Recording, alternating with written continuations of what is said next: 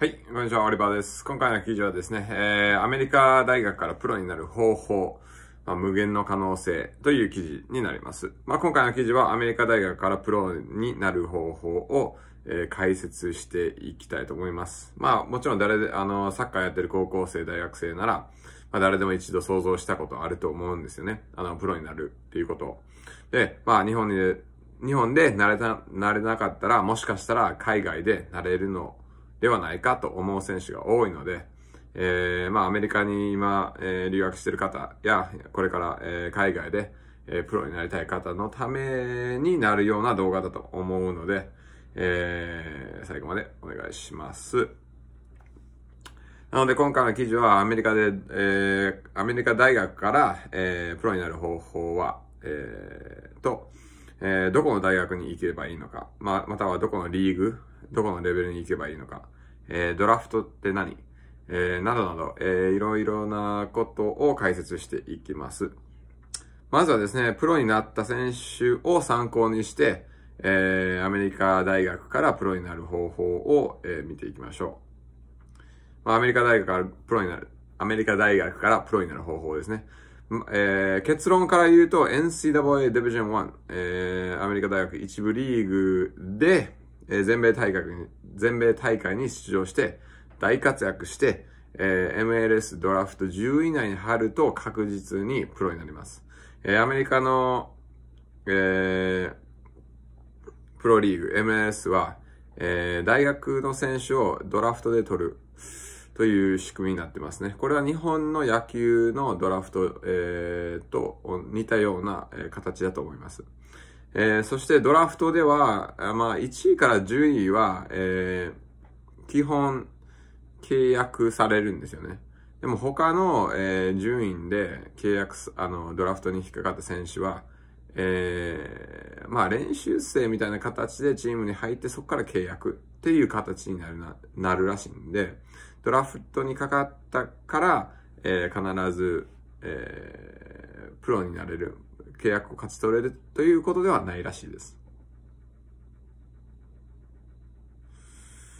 えー、まあ、つまり、えー、そうですね、アメリカで、まあ、トップ選手になることが条件です。えー、しかも、まあ、トップリーグ、そしてトップ大学。えー、で、これを成し遂げた日本人選手が、えー、います。現トラント FC の遠藤、えー、翼選手です。で、あの、翼選手のちょっと経歴、大学での経歴をちょっと見ていきましょう。えー、遠藤翼選手は、えー、メリランド、University of Maryland という、まあ、えー、東海岸では結構強豪な、えー、大学であって、まあ、ここで1、えー、1回生から入学して、1回生からコンスタントに試合に出てました。えー、スタメンではないと思いますけれども、まあ、多くの試合に出て、えー、使われてきた選手ですね。2回戦の時にはスタメンを獲得したらしくて、で3回戦の時は、えー、リーグ、えー、の注目選手になって、で4回戦の時はリーグの最優秀最優秀選手、えー、正確に言うと most valuable offensive player。攻撃的な、えー、最優秀、最優秀、最優秀選手っていうんですか？になったらしくて、まあ確実にね、えー、結果を残して、で、MLS のドラフトで9位に、えー、指名されて、え、トラント FC に入団。そしてメリーランド、メリーランド大学、えー、時代は、まあ、あの、大学も全米大学に出張してます。まあ、まさに、あの、アメリカ大学でトップミッドフィルダーとして結果を残した上で、プロになったという形ですね。はい、次の、えー、ちょっと例を見ていきましょう。えー、今度は00、我々のプログラムから、えー、プロになった選手ですね。赤松健選手を見ていきます。えー、まあ、赤松選手は University of Denver に4年間、えー、いてまして、まあ、1回戦の時から出場機会を得てたらしくて、えー、4回戦の時に、えー、スタメンでブレイクした、えー、選手です。えー、リーグ、えー、4回戦の時はリーグの最優秀選手メンバー、まあ、オールスターとか、オーリーグとか言うんですけれども、まあ、そのリーグの、えー、優秀な選手の、えー、なんていうんですかね、そういう、あの、タイトルをもらって、で、えー、4回戦の時はチームのアシストリーダーにもなりました。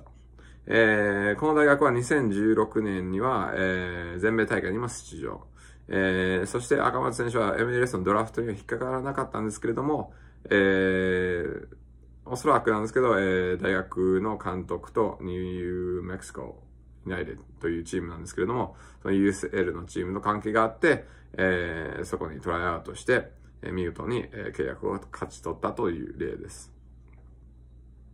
でもう一人0-0からプロ、えー、行った選手がいるんですけど、島崎亮選手です。えー、島崎選手は、えー、 Virginia Commonwealth University に4年間、えー、在学してました。えー、まあ、赤松選手と同様、1回生から出場機会を得て、2回生からは、えー、スタメンを獲得。3、4回生にな、えー、からは、まあ、チーム、チームの中心的な存在になって、えー、リーグの最優秀選手としても選ばれ、確実に結果を残してきた選手です。えー、卒業後には MLS のドラフトに引っかかり、えー、56位、えー、で、えー、選ばれ、最終的にはニューイングランド、ニューイングランド、えー、レボリューションの、えー、アンダー23に、えー、現在所属してまして、えー、そこからプロキャリアをスタートさせてます。えー、この、えー、っと、ニューイングランドレボリューションアンダー23は、えー、USL1 えー、っとですね、これは日本の、まあ、J3、えー、みたいなリーグで、えー、プレーをしています。まあ、以上3名の選手にはいくつかの共通点があります。えー、まずはですね、NCAA Division 1の大学でプレーしている。プレーしていた。そうですね。えー、2番目はチームの主力選手になっていた。えー、そして、えー、これは面白いんですけど、まあ、あの、3人とも、えー、日本で、まあ、ユース、えー、年代の代表選手か、えー、候補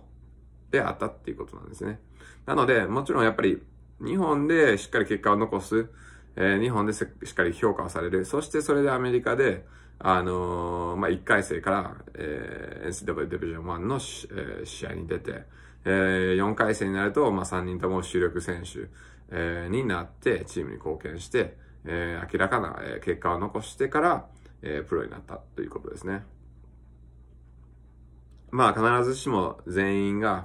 このような、まあ理想的な、えー、道を歩むことができないので、えー、一つ、まあ希望のストーリーですね。これは日本人選手ではないんですけれども、まあ NCAA Division 2、まあアメリカ大学2部から、2部の無名校から這い上がった選手のストーリーをちょっと紹介させてもらいます。えー、この選手がアスカー・ヒメネスって言って、まあ、あの、ヒスパニック系のアメリカ人なんですけれども、えー、実はこの選手は僕の母校の Western Washington University の選手です。で、この選手は、あのー、まあ、結構すごいストーリーなんですけれども、まあ、ちょっと最初から言っておきますね。まあ、この大学、Western Washington University、僕の母校なんですけれども、えー、まあ、最近ちょっと強くなってきて、えー、まあ、全米トップ25、全米25位には入るような実力になってます、今は。しかしこれ10年、10年、5年前はすごく弱いチームで、もう弱小チームで無名校だったんですけどね。今でもそんなにアメリカ界では、えー、アメリカサッカー界ではそんなに知られてない大学なんですけれども、まあ、ここから、えー、アスカ選手は這い上がってきたんですね。まあ、彼は僕が4回戦の時に1回戦の時に入ってきた選手なんですけれども、えー、まあ、1回戦の時からちょっとちょっと、あの、試合に出て、スタメンで出た時もあったりとかしたんですけれども、えー、そうですね。まあ、あのー、全然特別な選手ではないっていう印象だったんですね。小柄な選手でテクニックがしっかりしてる、していて、まあ、いいチーム、チームメイト、あのー、やりやすい選手だったんですけれども、特別な能力は、そんなないっていう印象だったんですね。で、まあ彼は1回戦からまあもちろん試合に出て、4回戦の時は西海岸のあの優秀選手、西海岸のまあ all team, all league っていうところまで、えー、這い上がってきたんで、まあそこそこの、結果は大学で残してきた選手です。で、彼は卒業後、地元の社会人チームでキャリアをスタートされました。この地元の社会人チームは、まあ日本で言うと県リーグ、えー、並みのレベルで決して決して高くありません。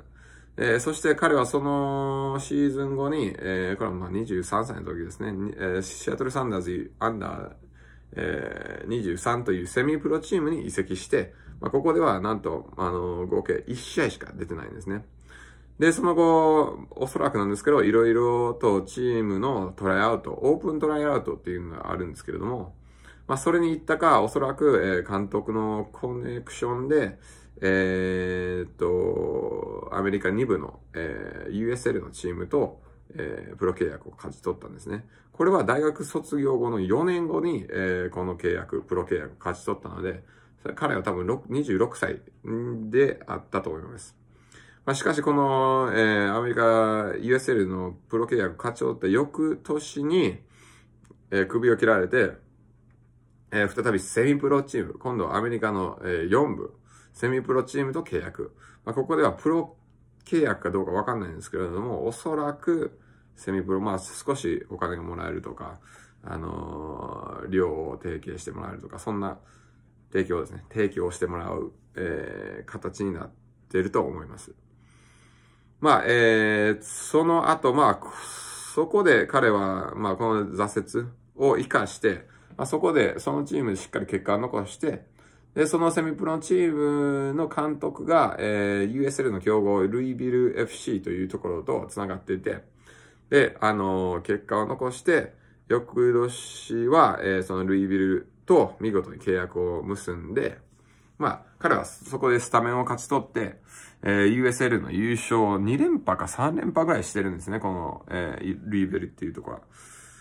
あの、そこまで、あの、貢献したという、まあ、素晴らしい、あの、キャリアの持ち主ですね。今はおそらく30歳かな、彼は。で、まだ、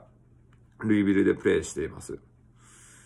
まあ、彼は、まあ、今のね、今、プロサッカー選手目指してる、まあ、高校生とか、えー、もしかしたら無名で、ね、あの、まだ夢を諦めてない選手、まあ、20、そうですね、半ばででもまだ諦められない選手、の希望になるのかなと思います。なので、まあ、結、えー、結果、まあ、アメリカ大学からプロになる方法は一つではありません。もちろん、NCAA Division 1の大学で、まあ、強豪校で結果をしっかり残した方が確実に、まあ、あの、アメリカの一部ですね、MLS に、えー、入って契約を勝ち取ることができると思います。けれども、まあ、短大に行ってる皆さんとか、まあ、おそらくデビジョン2に行ってる皆さんとかは、あの、なろうと思ったらなれますし、やっぱり強い、え、の意志を持って諦めない心さえあれば、そして、まあ、辛抱ですね、ペイシェン辛抱して、まあ、チャンスは誰にも、誰にでもやってくると思うので、あの、絶対に諦めないことがいいですね。なので、えー、はい。で日本の方で、えー、もしアメリカに少しでも興味があるんであれば、無料で相談とか、えー、アメリカ大学の紹介をしてますので、ぜひお問い合わせください。あ、で、最後になりましたけど、えー、っと、ブログの方では彼らの、えー、その3人の選手ですね。まあ、アスカーのプロフィールも、えー、載せときますので、えー、あとは、まあ、プレイ、YouTube 動画とかも載せときますので、それも確認してください。はい、さよなら。